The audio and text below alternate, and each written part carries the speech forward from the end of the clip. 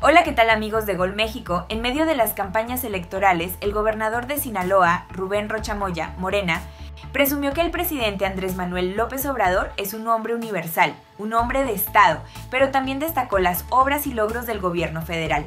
En la conferencia de prensa del presidente López Obrador, Rocha dijo que en su reunión de trabajo de ayer con el Ejecutivo señalaron que el tren Maya ocupa 50.000 trabajadores, una obra de dimensión que es para la perpetuidad dijo que la política de infraestructura hídrica del actual gobierno tiene una parte intangible y una la parte humana para el desarrollo, como las presas de Sinaloa y el proyecto de agua saludable de la laguna.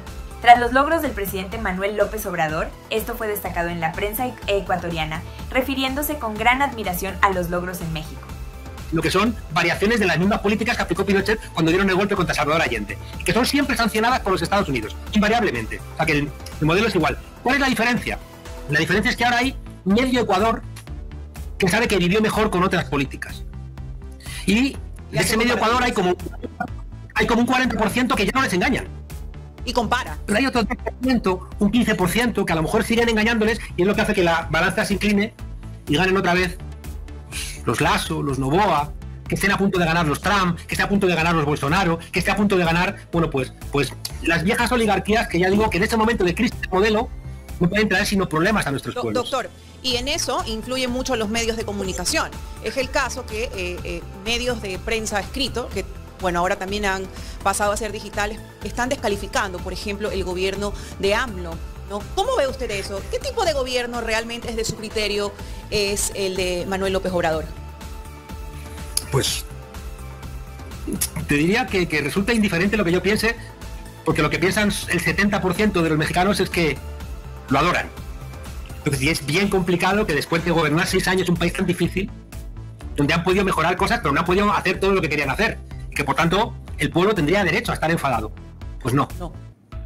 El 67% da la máxima calificación y la máxima valoración al gobierno de López Obrador. De la misma manera que, también por traslado, por el partido Morena, eh, la distancia que le saca incluso de la derecha Claudia Seinbaum a, a Xochitl Galvez es nunca menos de 8 puntos, ¿no?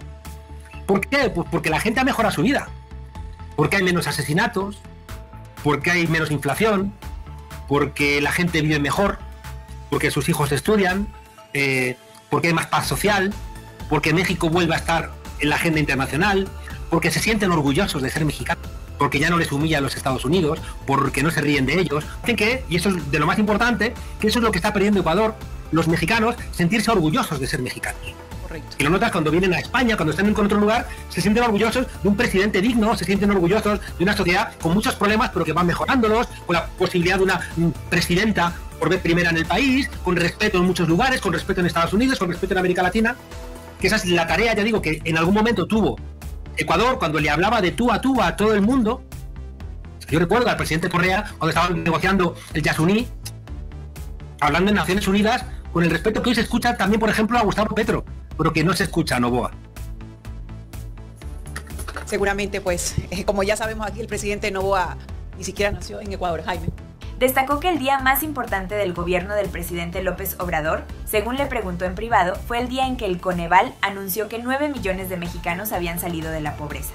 Calificó a López Obrador como un hombre universal y como un hombre de Estado para mí el mejor presidente que ha tenido México. Bueno mis amigos, hasta aquí este video, muchísimas gracias por vernos y hasta pronto.